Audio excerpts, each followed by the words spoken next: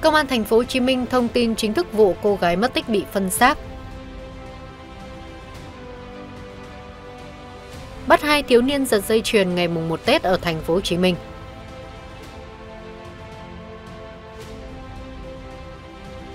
Bốn người trên xe máy tử vong sau va chạm trên cao tốc Nội Bài Lào Cai. Khởi tố đối tượng trốn chốt kiểm tra nồng độ cồn, tông cảnh sát giao thông trọng thương. Xử lý hơn 29.000 trường hợp vi phạm nồng độ cồn trong 7 ngày Tết. Xin kính chào quý vị khán giả đang theo dõi tin tức trên kênh YouTube Báo điện tử VOV. Thưa quý vị, chiều ngày 14 tháng 2, Công an thành phố Hồ Chí Minh đã tổ chức họp báo thông tin vụ án cô gái trẻ bị sát hại, khiến ai nấy theo dõi đều không khỏi phẫn nộ. Cơ quan cảnh sát điều tra đã ra quyết định khởi tố vụ án, khởi tố bị can, ra lệnh bắt tạm giam đối với đối tượng gây án. Theo đó, cơ quan cảnh sát điều tra công an thành phố Hồ Chí Minh đã ra quyết định khởi tố vụ án, khởi tố bị can, ra lệnh bắt bị can để tạm giam đối với Nguyễn Đăng Khoa sinh năm 1999, quê Tiền Giang về các tội cướp tài sản, sát hại người và rời cho đối bại. Các quyết định và lệnh trên đã được Viện Kiểm sát Nhân dân cung cấp phê chuẩn. Nạn nhân vụ án là chị VTT sinh năm 1999, quê Đồng Nai, tạm trú thành phố Thủ Đức. Cụ thể trước đó, nạn nhân T ở phòng trọ số 4, còn đối tượng Khoa thì ở phòng trọ số 14, tại nhà trọ số 103, thuộc 18 đường Quang Trung, khu phố 5, phường Tăng Nhân, Phú B, thành phố Thủ Đức. Vào khoảng 15 giờ chiều ngày 8 tháng 2, tức là ngày 29 Tết, Khoa tiếp xúc và nhờ chị T qua phòng số 14 để phụ giúp dọn đồ đạc. Khi chị T vừa vào phòng, Khoa đã khóa cửa từ bên trong, dùng dao đe dọa uy hiếp nhằm mục đích là cướp tài sản. Khoa đã dùng dao tấn công sát hại chị T. Đại diện công an thành phố Hồ Chí Minh cho biết, đối tượng Khoa tiếp tục thực hiện hành vi xâm phạm thân thể đối với nạn nhân. Khoa đã cướp đi một số tài sản gồm một lắc tay và một nhẫn chân người của chị T, hai cái nhẫn vàng 9999 và 11 sợi dây chuyền, 11 đôi bông tai bên trong ba lô và 3 triệu đồng trong túi đeo bên người của nạn nhân. Sau đó để che giấu hành vi phạm tội, đối tượng Khoa đã dùng dao chia nạn nhân thành nhiều phần, bỏ vào túi ni lông đen, đem đi phi tang tại khu vực bụi cây rậm rạp ven đường nội bộ khu công nghệ cao thành phố Thủ Đức, thuộc phường Tăng Nhơn, Phú A, thành phố Thủ Đức. Sau đó Khoa đi về Bình Định là quê của bạn gái để ăn Tết như bình thường. Tuy nhiên đến sáng ngày 12 tháng 2, tức là ngày mùng 3 Tết, Khoa đã bị tổ công tác của công an thành phố Hồ Chí Minh truy xét, bắt giữ tại nhà của bạn gái ở xã Cát Khánh, huyện Phù Cát, tỉnh Bình Định. Khoa thừa nhận hành vi phạm tội và từ chỉ điểm của Khoa, lực lượng công an đã tìm thấy các phần cơ thể của nạn nhân Tề. Mới đây, công an quận Gò Vấp đang tạm giữ hai đối tượng để điều tra về hành vi cướp giật tài sản vào chiều ngày 10 tháng 2, tức mùng 1 Tết. Ngày 14 tháng 2, công an quận Gò Vấp cho biết, đơn vị đang tạm giữ TKC và VVK cùng 16 tuổi, ngụ tại quận Bình Tân, để điều tra về hành vi cướp giật tài sản. Trước đó, vào khoảng 13 giờ 30 phút ngày 10 tháng 2, tức mùng 1 Tết, bà NTLT, 58 tuổi, ngụ tại quận Gò Vấp, điều khiển xe máy chạy trên đường Lê Đức Thọ, đoạn qua phường 15 quận Gò Vấp. Khi đến trước bãi đất trống trên đường này, bà T bị hai thiếu niên đi chung một xe máy áp sát, giật dây chuyền rồi bỏ chạy. Nạn nhân trình báo công an ngay sau đó. Ban giám đốc công an thành phố Hồ Chí Minh đã chỉ đạo công an quận Gò Vấp phối hợp với các đơn vị liên quan khẩn trương truy bắt đối tượng gây án với quyết tâm giữ vững tình hình an ninh trật tự để người dân an tâm đón Tết. Bằng các biện pháp nghiệp vụ, chỉ sau 24 giờ, lực lượng chức năng đã xác định được hai kẻ gây án. Đến 7 giờ 30 phút ngày 12 tháng 2, công an quận Gò Vấp, phòng cảnh sát hình sự công an thành phố Hồ Chí Minh phối hợp với công an xã Mong Thọ A, huyện Châu Thành, tỉnh Kiên Giang đưa hai đối tượng về trụ sở công an làm việc. Tại cơ quan công an, C và K đã khai nhận toàn bộ hành vi phạm tội của mình. Cơ quan cảnh sát điều tra công an quận Gò Vấp đang khẩn trương thu thập, củng cố tài liệu, chứng cứ, xử lý nghiêm theo đúng quy định pháp luật. Chiều ngày 14 tháng 2, trên tuyến cao tốc Nội Bài Lào Cai đã xảy ra một vụ va chạm giữa một xe ô tô và hai xe mô tô khiến 4 người tử vong tại chỗ. Thông tin từ cơ quan chức năng cho biết khoảng 15 giờ 40 phút ngày 14 tháng 2, tại km 261 700 trên tuyến cao tốc Nội Bài Lào Cai, đoạn dẫn tới cửa khẩu Kim Thành thuộc địa phận phường Duyên Hải, thành phố Lào Cai. Xảy ra va chạm khi xe ô tô tải biển kiểm soát 24C 09891 của công ty trách nhiệm hữu hạn dịch vụ nhà sạch Lào Cai di chuyển theo hướng Lào Cai xuôi Hà Nội, gặp xe mô tô biển kiểm soát 24HB 09908 và 24B105791 di chuyển theo chiều ngược lại. Hậu quả là xe ô tô bị hư hỏng phần đầu, cả 4 người trên hai xe mô tô tử vong tại chỗ. Danh tính các nạn nhân đã được xác định cùng chú tại huyện Bát Sát, độ tuổi từ 13 đến 18 tuổi, có nạn nhân trên người vẫn mang áo đồng phục học sinh. Ngay sau khi xảy ra va chạm, lực lượng chức năng đã có mặt tổ chức phân luồng giao thông, khám nghiệm hiện trường, điều tra nguyên nhân vụ việc. Do tính chất nghiêm trọng của vụ việc, đại diện lãnh đạo Ủy ban nhân dân tỉnh Lào Cai và một số ngành chức năng cũng đã có mặt chỉ đạo giải quyết.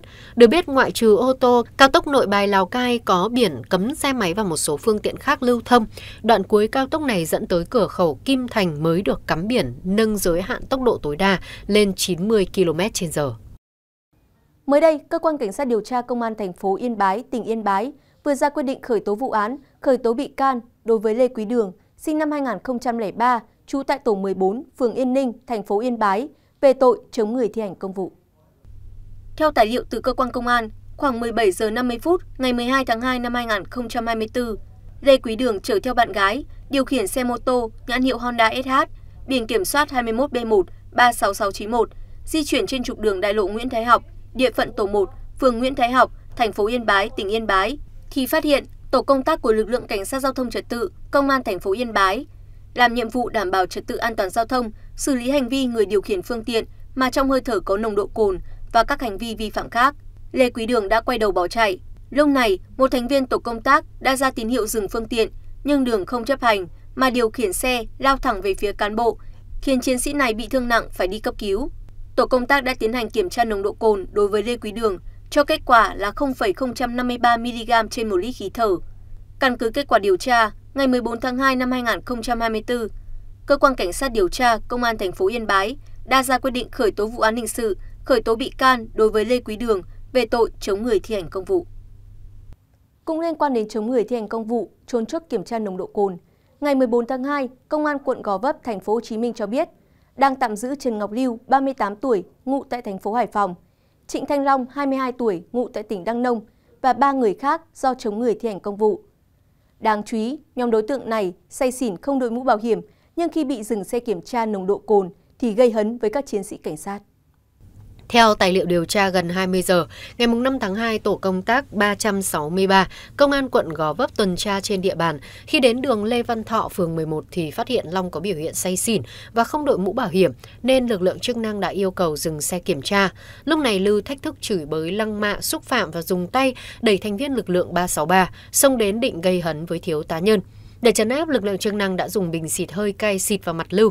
Tiếp đó, nhóm bạn của Lưu và Long là Mã Tuấn Minh 21 tuổi ngụ tỉnh Đồng Nai, Đặng Công Sáng 53 tuổi ngụ tại quận Gò Vấp, Lê Triệu Vi 20 tuổi ngụ tỉnh Cà Mau cùng một số người khác đang nhậu gần đó nhìn thấy và đi đến. Nhóm đã cùng với Long gây áp lực liên tục giật tay tổ công tác để tổ công tác không thể xử lý Lưu. Chưa dừng lại, Lưu càng lấn tới, xông vào khiêu khích và vung tay, húc vào người các chiến sĩ tổ công tác, trong khi nhóm còn lại lăng mạ, thách thức tổ công tác. Tổ công tác sau đó khống chế và đưa nhóm của Lưu Long về trụ sở để làm rõ.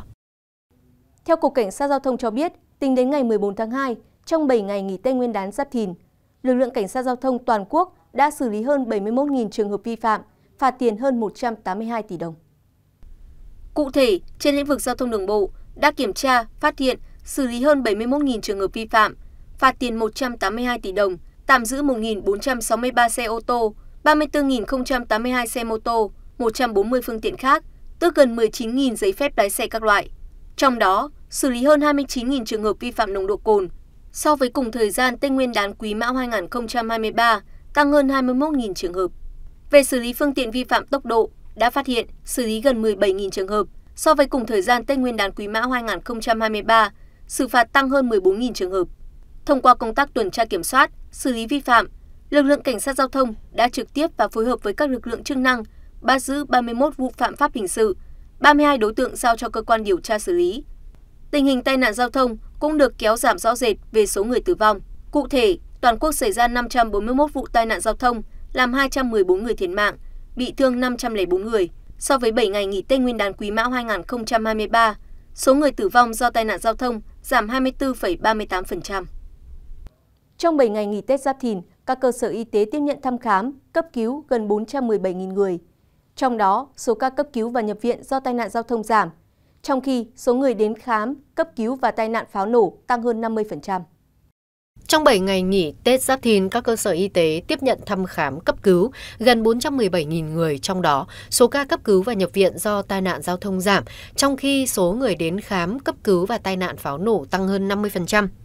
Theo số liệu tổng hợp từ báo cáo của cơ sở khám chữa bệnh trực thuộc Bộ Y tế, 63 sở y tế các tỉnh, thành phố và y tế ngành trên toàn quốc từ ngày 8 tháng 2 đến ngày 14 tháng 2, các cơ sở tiếp nhận thăm khám cấp cứu gần 417.000 người, tăng 33% so với cùng kỳ Tết Quý Mão 2023. Đáng chú ý trong tổng số khám cấp cứu tai nạn liên quan đến giao thông dịp nghỉ Tết là hơn 23.000 trường hợp, giảm 12% so với cùng kỳ 2023. Số ca tử vong nghi do tai nạn giao thông là 118 trường hợp, giảm giảm 22,4% so với cùng kỳ Tết Quý Mão 2023. Bộ Y tế cho hay trong 7 ngày nghỉ Tết Giáp Thìn ghi nhận tổng số 604 trường hợp khám, cấp cứu do pháo nổ, pháo hoa, tăng 51,4% so với cùng kỳ Tết Quý Mão 2023. Trong những ngày nghỉ Tết, các bệnh viện đều đảm bảo công tác khám chữa bệnh thông thường, cấp cứu, thực hiện thủ thuật, phẫu thuật, kể cả những kỹ thuật khó, phức tạp nhất như ghép tạng. Quý vị và các bạn vừa theo dõi chương trình trên kênh youtube của Báo Điện tử VOV. Nếu yêu thích chương trình, xin mời quý vị hãy ấn like, đăng ký kênh, truy cập vào địa chỉ vov.vn để theo dõi những tin tức thời sự cập nhật mới nhất của chúng tôi. Xin được kính chào tạm biệt và hẹn gặp lại trong những chương trình tiếp theo.